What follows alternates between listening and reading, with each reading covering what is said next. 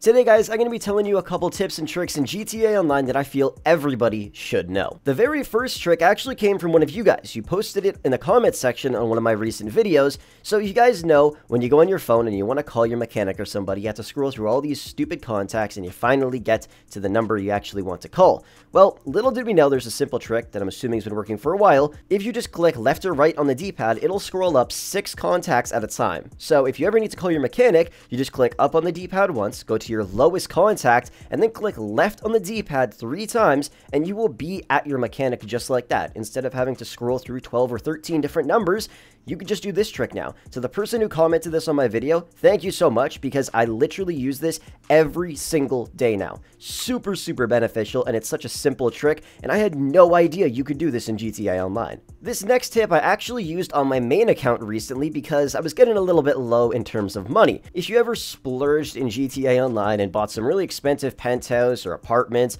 and you really never use them anymore, why not downgrade them? Now, I've talked about this in the past before, and it's honestly really beneficial because you really only need one apartment building, so then you could start up heists, and then the rest of them you could downgrade to 10 car garages, and it'll save you a lot of money. For example, I'm going to downgrade one of my expensive apartments right here, and I'm going to get a $200,000 apartment instead. And then you're going to see in the top right hand corner, I get some money back into my account. Now, obviously, it's not going to be a huge amount of money, and it would have been better for me to just buy one apartment a while ago and then just buy a bunch of 10 car garages. Would have been smarter, but I wasn't thinking back then, and I'm sure some of you guys went through the same thing. So if you have a bunch of apartments that cost a ton of money, just downgrade them to cheap garages that can house 10 cars, and then you're pretty much good to go. It's not a ton of money, but I'm sure a couple hundred thousand dollars could could help a bunch of you out. Another little tip I can give is about downgrading businesses. I'm downgrading from my farmhouse bunker, which ended up costing me $2.375 million, to the cheapest bunker in the game, the Paleto Forest bunker, which only costs $1.165 million, and I also have all the upgrades purchased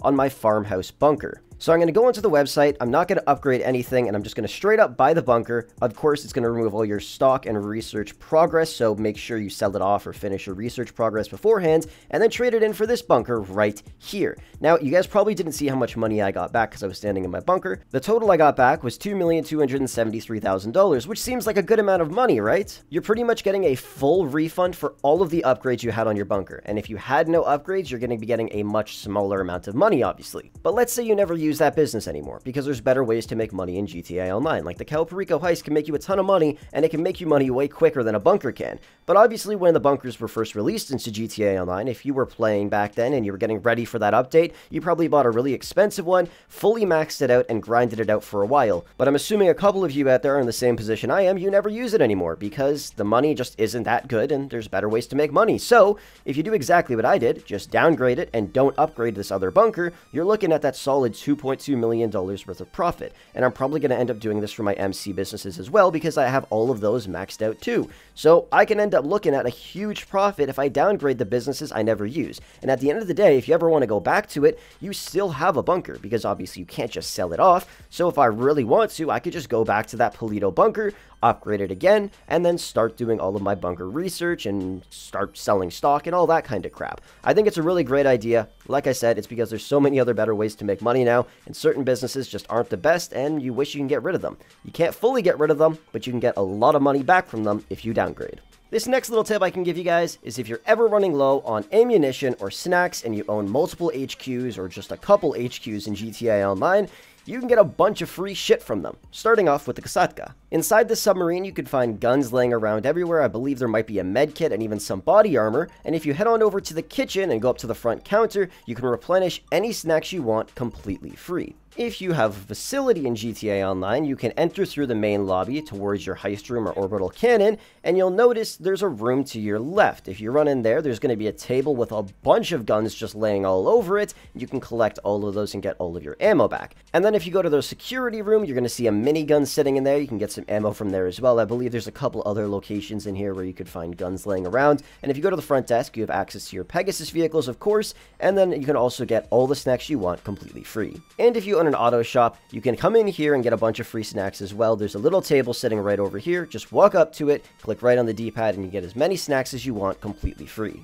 And this one is the most common, but of course, if you go in your CEO office, you can get snacks from your assistant sitting at the front desk. Once again, completely free. It's super beneficial instead of having to run around and going to stores all the time. Most of the time, I'm going to end up spawning inside of one of my HQs almost every time I load up GTA Online. And anytime I do missions, I always use snacks, so it's always super useful to just come over to these HQs, grab what you need, and then go and terrorize people or do whatever you do in GTA Online. Another great tip I can give, and I'm sure most of you guys probably already know about this, but it's going to be purchasing just one gun locker. You don't need one in all your HQs, just get one, and of course by doing this you can have custom loadouts. Now if you're like me, you probably own every single gun in GTA Online, and when you're scrolling through your weapons trying to find which one you want to use, sometimes it gets annoying because you have so many. So make some custom loadouts, like make a minimalist loadout, make a PvP loadout, and then of course just have a regular loadout with all of your guns available. Like there's some guns nobody ever uses. Like when was the last time you used a vintage pistol, or the regular sniper rifle? I never use those anymore, so there's no need to have them in my inventory. Of course, if I still need them,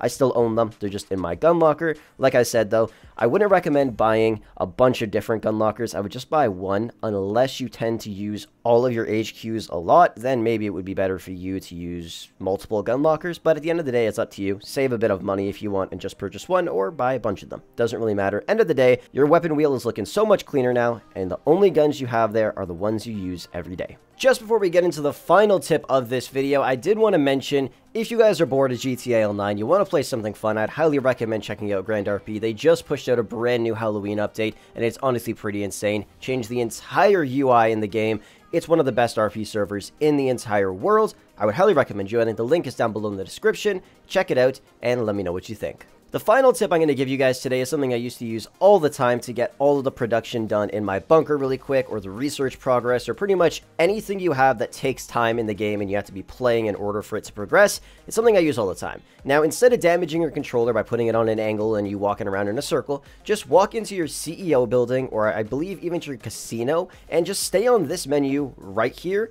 and then just get up and leave. And you could leave the game like this for hours and hours on end, and then just like that, you'll be pretty much good to go. You won't be kicked from the session, and all of the stock that you're producing will continue to produce even if you have to leave for 5 hours or even 24 hours. As long as you plug your controller in, you'll be perfectly fine. So I did a little time lapse here. I let it go for about 25 minutes. You'll see everything going by in the background. And like I said, it's super, super beneficial, and I would highly recommend using this because, like I said, instead of just turning off your PlayStation and having to spend five hours in-game or running around, just go to sleep and then wake up the next morning and all your production is done. And you can go sell everything off, make a bunch of money, and keep repeating this every single day. Anyways, guys, that is going to wrap the video up for today. Hopefully it did help you out. I do have a bunch of other tips and tricks I can give you guys, but I didn't want to make this video too long. But with that said, thank you so much for watching, and if you want to see another episode of this, be sure to drop a like on the video. But with that said, thank you so much for watching, and I'll catch you guys in the next one.